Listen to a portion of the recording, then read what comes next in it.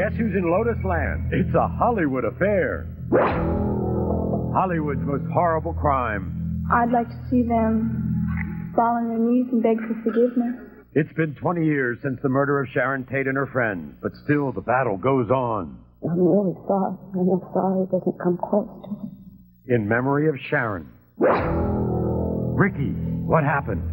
18 years old is awfully young to experience the finest years of your life. He was the golden child of America's most wholesome TV family, but in the end, it was all taken away. The tragedy of Ozzie and Harriet and Ricky.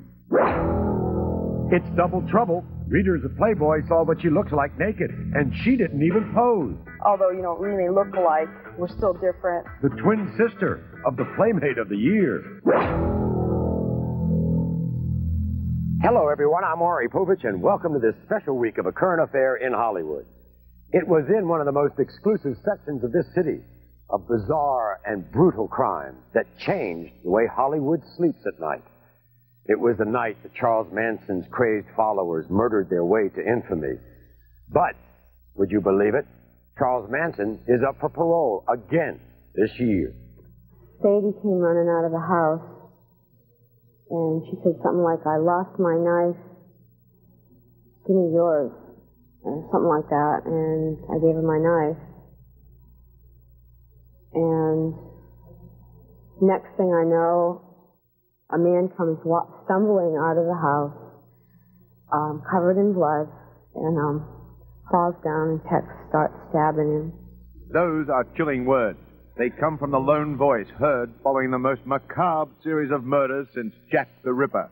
She is Linda Kasabian, now living on the run. Linda was once in the grim spotlight.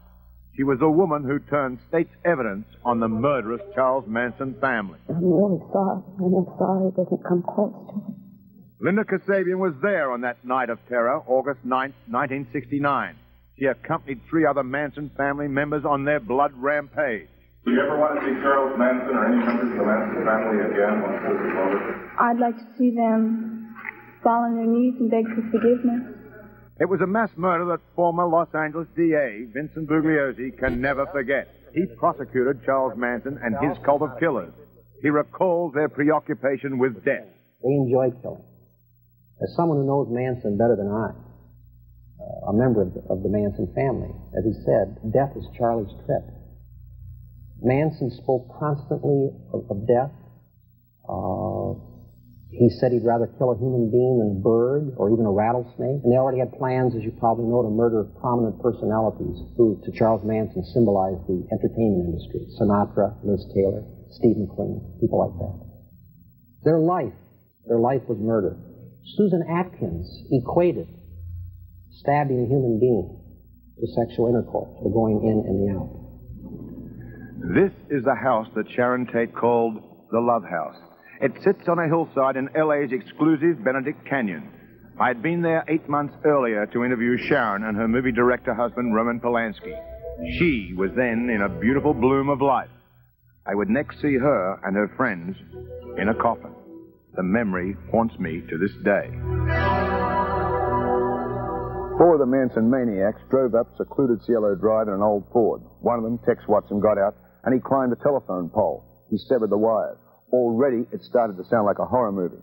Now the four of them feared that this gate here was electrified, so they climbed over this embankment and swarmed into the Tate household with commando-like precision and proceeded to rewrite criminal history in blood. Once over the fence, the killers saw headlights. Tex told the girls to hide in the bushes. Stephen Parent, a 19 year old friend of the house's caretaker, was going home in his car. Parent was in the wrong place at the wrong time. When the car got right up to us, uh, Tex jumped out, and shot the person in the head.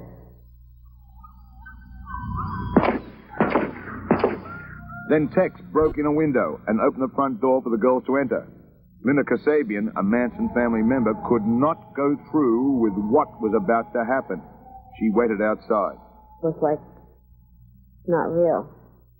You know, did this really happen? It just didn't seem real. But it was real.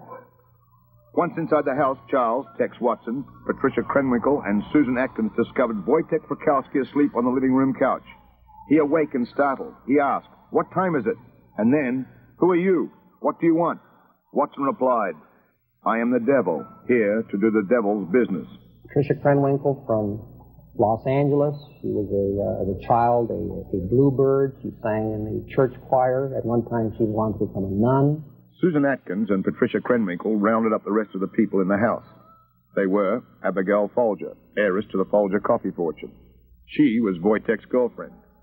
And there was Jay Sebring, Hollywood's trendy hairstylist. He was a friend of Sharon's. And there was Sharon Tate herself. Tex Watson ordered them all to lie on the floor. Sebring protested loudly, saying that Sharon was pregnant. Watson replied by shooting Sebring through the heart. Watson then tied a rope around Sharon and Abigail's neck. Tex Watson then calmly ordered Susan Atkins to kill Wojtek Frykowski. She didn't get along with her father, and she gravitated to San Francisco, became a kept woman and a topless dancer, later a gun moll. Certainly, you couldn't categorize her background as being average American. Wojtek Frykowski broke free of his bonds and began to struggle with Susan Atkins. She began to flail wildly at him with a bayonet, stabbing him several times in the legs and body. Tex Watson moved as he saw Frykowski racing to the door. He shot him and then bludgeoned him with a gun butt as Frykowski fell into the yard. Watson uh, was a high school uh, star in basketball, football, and track. I think up until a couple years ago, he held the high school high hurdle track record in the state of Texas. They viewed him as the All-American boy. In the fracas, Abigail managed to untie the rope around her neck. Krenwinkel grabbed her, and another struggle ensued. Tex Watson had come to Krenwinkel's aid. He put an end to the struggle by stabbing Abigail. Watson then ordered Atkins to kill Sharon Tate. Meanwhile, although mortally wounded, Abigail Folger had somehow crawled into the yard next to where her boyfriend Frykowski had fallen. Watson and Krenwinkel then proceeded to stab the already dead Frykowski and Folger many times. Susan Atkins, meanwhile, left a one word message written in Sharon's blood. Following the sickening slaughter, the killers stole off into the night. The following night, Manson killers struck again at the home of Leno and Rosemary LaBianca, killing the innocent couple in an equally senseless rampage. Thinking that the Tate murders were drug related, police thought they had a copycat killer on their hands. It was almost unbelievable because it was more like a slaughterhouse. It, uh, normally, if you can call any homicide normal, you're going to find a body or maybe two bodies. And uh, again, normally they're going to be confined to a particular space. But this was bodies everywhere. It just uh, was almost unbelievable. The slaughter triggered a mass nervous breakdown among the Hollywood colony. But still, they turned out in full force for Sharon's funeral. Last thing she made was not a very happy experience for her. But her greatest picture she was doing was her pregnancy. I never seen a woman more preoccupied with it. The trial of the Manson family held a nation spellbound in horror with details of depraved orgies. Doris Tate, Sharon's mother, attends all parole hearings for Manson family members and campaigns to make sure that none of them ever see a day's freedom. But already they have a freedom in jail that boggles the mind. California has conjugal, pardon me, conjugal visitations rights, and this will bring uh, the man's wife into the, the uh, prison, and from those con- conjugal visitations, Watson has had two children. Are you telling me Yes, that Tex Watson, the man that led this grim commando team, has conjugal rights? Absolutely.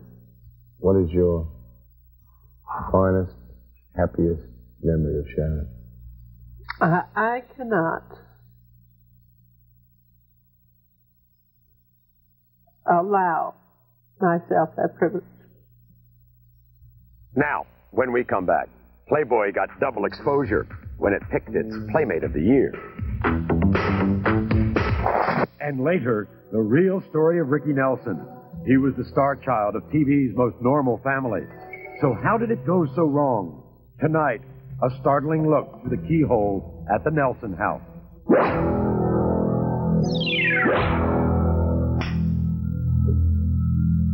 We're here poolside at the Playboy Mansion in Beverly Hills.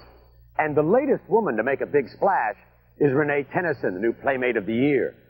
But that's making waves for her sister back home in Boise. You see, she's a mirror image of her pinup twin.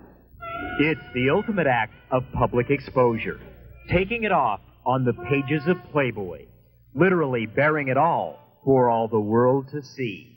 It's the kind of concept that never really appealed to 21 year old Rose Tenison. Because you see, Rose is a rather modest young woman from the conservative area of Boise, Idaho. A good church going town that doesn't even allow the showing of X rated movies. But now suddenly, Rose Tenison feels she's been stripped bare of all her small town values, to say nothing of her privacy. No, Rose has never posed for Playboy, but someone who looks exactly like Rose has. And when we say exactly, we mean exactly, identical, as in twin sister Renee, who's not only posed for Playboy, but was also recently named 1990 Playmate of the Year.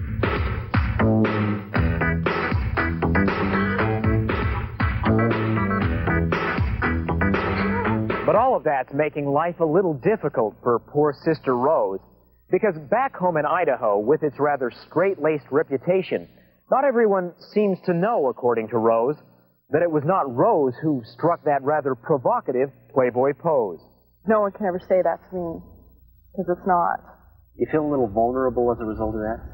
A little exposed? We're two individuals. Although, you know, we may look alike, we're still different, and, and it doesn't change the fact that she posed and I didn't. She's the one in the magazine. You think that uh, you think that some people have mistaken you, though? That they think that it was you that did that? oh, yeah. I never would have thought that me or my sister would be the first black playmate of the year, even in Playboy. But the question remains how does this religious country girl feel about her mirror image becoming the hottest Idaho export since the baked potato? I don't know if I'd go that far. It's hotter than the baked potato. It's been fun. Get a lot of attention, which is sometimes nice. In fact, so nice that Rose herself is now considering shedding a few petals for Playboy, perhaps in a future duet with her sister. For apparently, this religious young woman believes it's no sin if you pose with your twin. Do you think that someday we're going to see uh, Renee and Rose together? Yeah, in the near future, you probably will. The twins. Now, wouldn't it be something if Playboy found a triplet, huh? Now, when we come back, the true story of what happens to Ricky Nelson.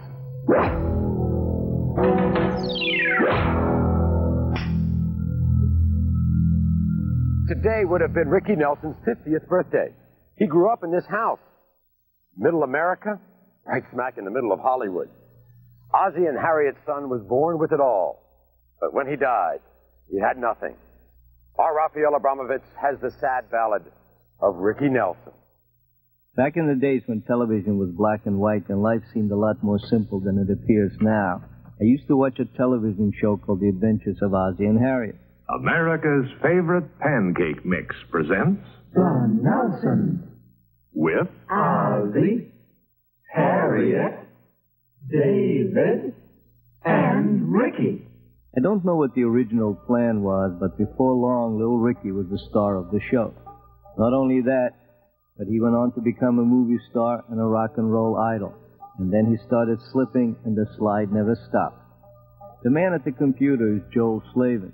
He may not look it, but rock and roll is what he lives for. He's a pop music columnist for the San Francisco Chronicle, and if anyone knows the inside story about Ricky Nelson from top to bottom, he does. Rick was playing a character on TV named Rick Nelson.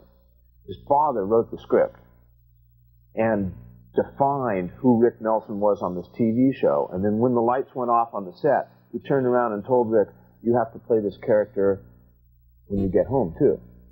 Because you're a role model. And there's 40 people that work here and their livelihoods depend on you living up to the character I've created. Now this is an 11, 12 year old boy. Now, I didn't know that when I first came across little Ricky back in the 50s. All I could think about was, gee, what a wonderful life this spunky little kid seems to have. He was so real. He wasn't a kid star. He played himself. His name was really Ricky Nelson. His father was really Ozzie. His real mother was Harriet. And David was really his big brother. And everybody who watched the show knew it. And for me, at least, it made a lot of things kind of blurry. Ozzie's behavior on the show and Ozzie's behavior off camera, two different things. Ozzie was a very intense man. He had facial tics, you know, like this, uh, off camera. The guy on camera, that affable, uh, bumbling, gee whiz kind of guy, that was a figment of his imagination. That was a character. Had me fooled. I think they fooled a lot of people. Everybody wants to believe in Ozzie and Harriet. They want to believe that that's the way that family was. Um, people who knew them wanted to believe that that's that way it was. And I think that the family probably went into their act the minute a fifth person showed up on the scene. And it was a very convincing act. I remember watching the adventures of Ozzie and Harriet and wondering why my life wasn't like theirs. They seemed to have it all, and all of it was so effortless, easygoing, wonderful. The TV show had nothing to do with the lives that David and Ricky were leading as teenagers in Hollywood. According to Selvin, Ricky was into drugs as early as 1961, and Harriet Nelson, the quintessential TV homemaker, wasn't all she appeared to be in those aprons she made so famous. Of course, they had servants waiting on them, which the, servants don't show up in the TV show. Um, Harriet is perpetually in a in an apron on the TV show, different apron every show. Uh, when she wandered into the kitchen at home, she wondered, "What's this room for?" Um, I mean, this is a lady who grew up in hotel rooms. She knew nothing about cooking. But the real shocker in Selvin's book has to do with Ozzie Nelson himself. There's plenty of evidence that Ozzie had his affairs. This, is, you know, uh, from talking to sources of, uh, around the TV show, they seem to indicate that Ozzie uh, partied around. I thought he was always hanging out with Thorny. well, there was no Thorny, uh, or the, the Thorny in real life, Ozzie wasn't friends with. Um, no, Rick used to tell people that his father dated a lot of the girls on the uh, show. According to Selvin, as early as 1956, Ozzie Nelson, the businessman, the producer, the director, sensed the coming of the age of rock and roll and pushed his son Ricky into imitating Elvis Presley on the show. Ricky was an instant success. In 1958, Elvis was in the Army, and Ricky Nelson was the top rock and roll star of the day. He was on the cover of Life magazine. He was the biggest attraction on the concert uh, scene. He was the most played artist on the radio. He was the biggest selling recording star. You know, I remember watching that show and him, you know, moving into rock and roll and playing the guitar and so on. And I always thought it was a setup. I always had the feeling that he had been created. People tend to view Ricky as Fabian, some kind of contrived, manufactured, you, you know, rock star for teenagers and for and for dumb teenagers that don't know the, the real thing. Uh, and undoubtedly, that's where he started business. And the guy doing the creating was Ozzie Nelson. But Ricky was a person who loved that music. It was his escape valve. It was the way he got out of the tension, the pressure, and the resentments that he had surrounding that show. Selvin, who's an expert on rock and roll, says that for a while Ricky was right up there with the very best. That Ricky's induction into the Rock and Roll Hall of Fame was something he truly deserved. But rock and roll for Ricky became more than the music he loved. In the 70s, Selvin claims Ricky turned to cocaine. After a while, the fame vanished and sordid things took its place. Rick would come home from concert tours and go into his bedroom and not come out. That he wouldn't see his own kids, who would be living in the house with him. That the only time he might come out of the bedroom is to grab a quick cheeseburger from the kitchen. He never ate anything but cheeseburgers and Snickers bars. Sounds like Elvis. Does, doesn't it? Getting up at 6 o'clock at night, uh, keeping the uh, windows to this panoramic view that Errol Flynn had built in 1941. The windows covered in tin foil and newspaper. Ricky's father, Ozzie, had created the perfect kid and the ultimate teen idol. And until he was 18, Ricky played his life as director. Fame came early and fortune came easy. At 30, when his trust funds paid off, he was worth $4 million. Five years later, he was stone broke. He lived out his life chased by his mounting debts, playing to people who remembered him from his days of teenage glory, singing his heart out in places that appeared mostly on local maps. On New Year's Eve 1985, he burned to death in a fiery crash. According to the autopsy report, cocaine was in his system. If he were alive today, it would be his 50th birthday. When we come back, the mysterious death of TV's most lovable bimbo.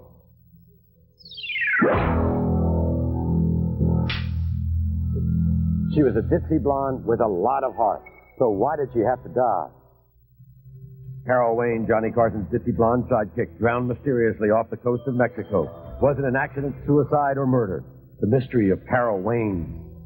That's tomorrow in Hollywood on A Current Affair. Thanks for joining us, everyone. Until next time, America.